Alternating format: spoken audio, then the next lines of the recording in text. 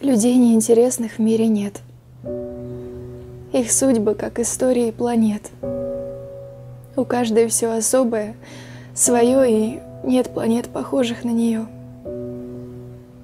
А если кто-то незаметно жил и с этой незаметностью дружил, он интересен был среди людей самой неинтересностью своей.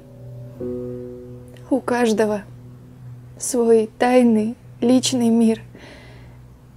Есть в этом мире самый лучший миг. Есть в этом мире самый страшный час. Но это все неведомо для нас. И если умирает человек, с ним умирает первый его снег и первый поцелуй и первый бой.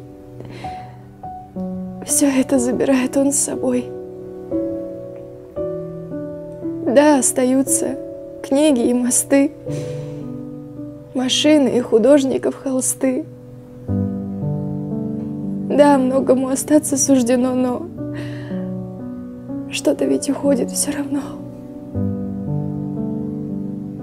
Уходят люди, их не возвратить, их тайные миры не возродить. И каждый раз мне хочется опять от этой невозвратности кричать.